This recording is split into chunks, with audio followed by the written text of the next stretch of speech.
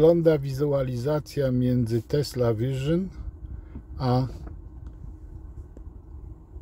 normalnymi czujnikami. Standardowo jest tak, o,